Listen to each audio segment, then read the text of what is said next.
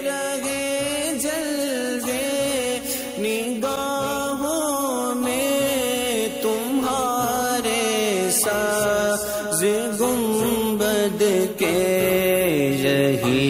जलवा मुझे हर दम दिखाना या रसूल।